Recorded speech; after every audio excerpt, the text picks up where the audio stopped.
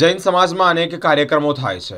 જૈન સમાજને એક કરવા માટે જ સામૂહિક ક્ષમાવાણી એક મહાઉત્સવનું આયોજન કરવામાં આવ્યું હતું. જૈન સમાજમાં ચાર પાંચ પંથો વચ્ચે પડેલા ફાટાને દૂર કરવા માટે જૈન સમાજને એક કરવા જ રવિવારે વડોદરાના અકોટા સ્ટેડિયમ ખાતે સામૂહિક ક્ષમાવાણી મહાપર્વ એ મહાઉત્સવ યોજવામાં આવ્યો હતો, જે મહાઉત્સવમાં ચાર પંચના મુનિ મહારાજ તેમજ ચારેય પંથના અનુયાયીઓ ઉપસ્થિત રહ્યા હતા. સમગ્ર દેશમાં જ વસવાટ કરતા જૈન સમાજ ચાર પંથમાં વહેંચાયેલો છે, જેને લઈને જ ચારેય પંખો વચ્ચે વધી ગયેલી ખાઈ દૂર કરવા માટે જ આ ચારેય પંથને એક કરી સમાજને મજબૂત બનાવવાનું અભિયાન વડોદરા શહેરથી શરૂ કરવામાં આવ્યું હતું રવિવારે વડોદરાના અકોટા સ્ટેડિયમ ખાતે જ સામૂહિક ક્ષમાવાણી મહાપર્વ એટલે કે મહાઉત્સવ યોજવામાં આવ્યો હતો જેમાં ચારેય પંથકના મુનિ મહારાજ મંચ પર ઉપસ્થિત થયા હતા સમાજને એક કરવા માટે જૈન સમાજના ચારેય પંથના અનુયાયી અપીલ કરી હતી સાથે સમાજને પણ આ એક સારો એવો સંદેશો વહેતો કર્યો હતો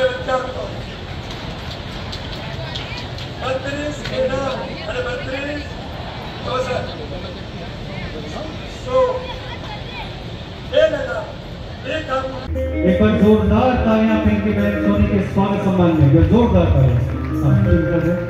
વાતને ઉકરાવે અને વિવાદ કરે પહેલા એ બીજાને કીધું જોતો નથી આંદોલન છે ખરાબ શબ્દ વાપર્યો સામેવાળો પણ જાણવાનો નહોતો એને કીધું હું નહીં છે તો તમારા જીવનમાં શાંતિ આવશે તકલીફ ક્યાં છે તો શું કરવાનો જરા પણ વિચાર ન કર્યો હોય એકાએક સમાવાણી.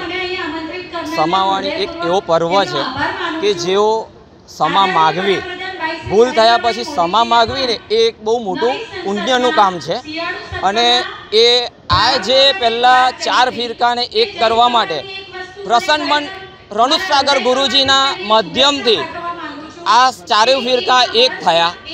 એમનો ચતુર્માસ થવાનો હતો. એ સૌથી વિહાર કરતા હતા. ત્યારથી એમનો પ્રેરણા હતી કે આપણે ચારેય ફિરકાને એક કરી અને વડોદરા સમાજનું નામ એક મંચ ઉપર આવે. અને એના અનુસંધાનમાં કન્ટિન્યુઅસ મહેનત કરતાં કરતાં આજે સમાવાણી પર્વ ઉજવાઈ રહ્યો છે, ચારેય ફિરકાનો એક થઈને. તો આ અમારા પ્રસન્ન મન પરણુત સાગર ગુરુજીના જે ભાવ હતા, કે એ યંગ છે, પણ એમના ભાવ બહુ ઊંચા છે, કે બસ બધા એક થઈને રહો, એકતામાં મજા છે, જેવી રીતના દ્રાક્ષનું ઝુમખું ઝુમખામાં શોભે છે. એ જ રીતે જો આપણે બધા એક થઈને રહીએ, જેવી રીતના દ્રાક્ષ જો છૂટી પડી જતી હોય, તો એને કરમાતા છે ને વધારે ટાઈમ નથી લાગતો હતો.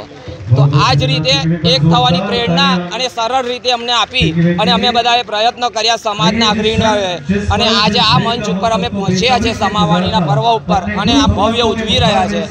बस जय जिनेन्द्र। हेमंत शाह जय जिनेन्द्र। महावीर भगवान के चार संतान, दिगंबर, श्वेतांबर, तेरापंथी और स्थानक वासी ये कह सकते हैं कि महावीर साहब भगवान की चार संतान है, जो चारों अपने हिसाब से महावीर के मार्ग पर चल रहे हैं। आज ये चारों बच्चे इकट्ठे हुए हैं। कह सकते हैं कि महावीर भगवान का पूरा परिवार इकट्ठा हुआ है। और आज समाज को ये संदेश दे रहे हैं कि जो महावीर स्वामी भगवान का संदेश है, अहिंसा, परमो धर्म। अहिंसा, परम धर्म, जो महावीर स्वामी भगवान का संदेश है, वो पूरा जगत को देना चाहते हैं कि अहिंसा के मार्ग पर चलो, जियो और जीने दो।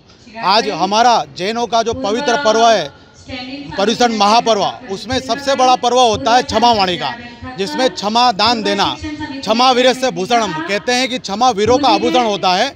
हमारे महावीर स्वामी भगवान ने सिखाया है कि गलती करना स्वाभाविक है लेकिन गलती करने के बाद किसी से क्षमा मांगना और जो क्षमा करता है, उससे बड़ा जगत में कोई वीर नहीं होता है। और उसी लक्ष्य को लेके आज पूरा समाज इकट्ठा हुआ है। वैसे भी आप लोग सब जानते हैं कि जैन धर्म में जितने भी लोग हैं, वो सभी कहीं ना कहीं अहिंसात्मक कार्य करते ही रहते हैं, दान धर्म का, समाज कल्याण के कार्य करते रहते हैं। जैसे कि गौशाला के कार्य, स्कूल हॉस्पिटल चलाना, अभी चारे फिर चारे इकट्ठ- चारों बच्चे इकट्ठे हुए हैं। तो निश्चित ही आने वाले सभी भविष्य में इससे भी अच्छा कार्य जैन समाज मिलकर करेगा। वैसे भी आप लोग जानते हो कि जैन समाज का, जैन समाज अगर पॉपुलेशन में गिने तो एक या दो परसेंट है। लेकिन अगर जीडीपी में जैन समाज का हिस्सा देखा जाए तो कम से कम ट्वेंटी फाइव परसेंट है। कभी भी जैन समाज ने अपना हक नहीं मांगा है। और आज भी जैन समाज यही चाहता है कि सब लोग शांति से जिए और उनको, हमको भी शांति से जीने दे। हम लोग, मेरा नाम सुदीप जैन, सन्मति पार्क से हूँ। सन्मति पार्क समिति का मैं अध्यक्ष हूँ। जय जय।